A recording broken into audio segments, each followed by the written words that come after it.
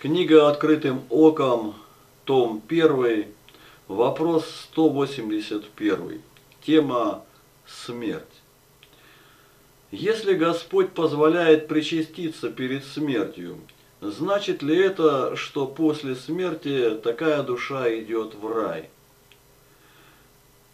Отвечает Игнатий Тихонович Лапкин. Библия так не учит – не в кусочке причастия смысл, а как принять его. 1 Коринфянам 11, 26, 32. Ибо всякий раз, когда вы едите хлеб сей и пьете чашу сию, смерть Господню возвещаете, доколе Он придет. Посему, кто будет есть хлеб сей и пить чашу Господню недостойно, виновен будет против тела и крови Господней. Да испытывает же себя человек, и таким образом пусть ест от хлеба сего и пьет из чаши сей. Ибо кто ест и пьет недостойно, тот ест и пьет осуждение себе, и осуждение себе, не рассуждая о теле Господне. Оттого многие из вас немощные и больны, и немало умирает. Ибо если бы мы судили сами себя, то не были бы судимы. Будучи же судимы, наказываемся ады Господа, чтобы не быть осужденными с миром. Главное не в причащении, без которого человек может спастись, если не было возможности его принять.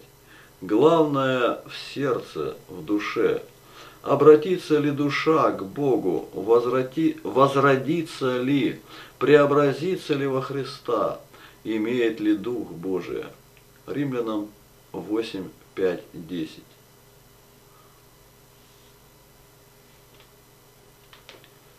Ибо живущие по плоти о плотском помышляют, а живущие по духу о духовном.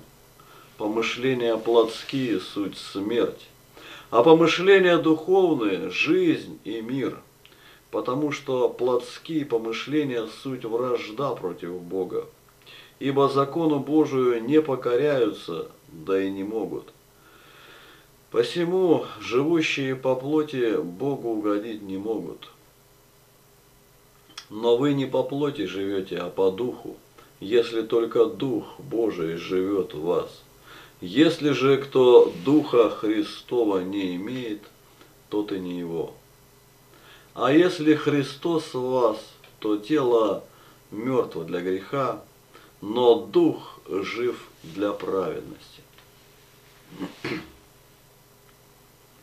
У православных совершенно превратное представление о спасении.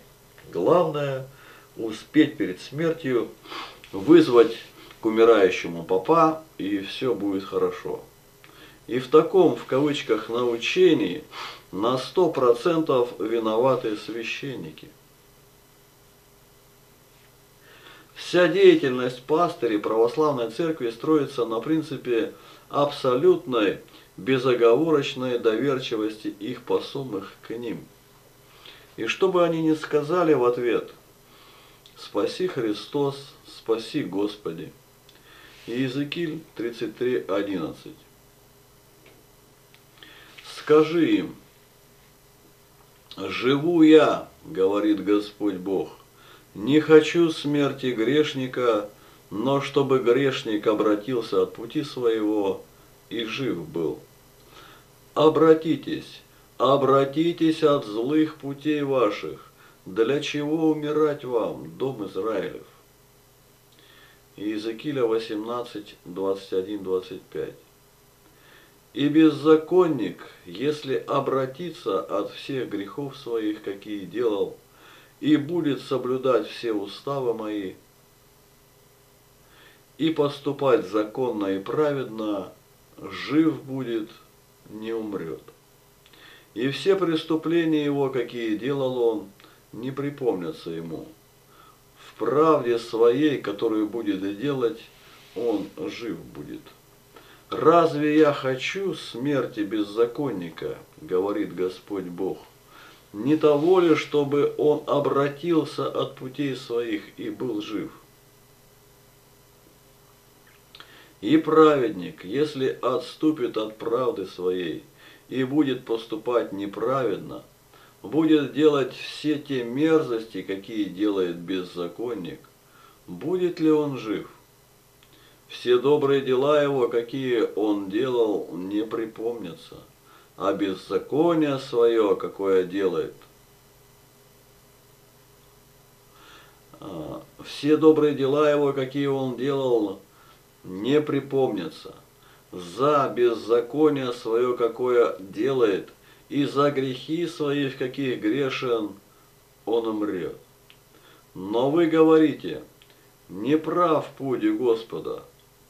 Послушайте, дом Израилев, мой ли путь не прав? Не ваши ли пути неправы?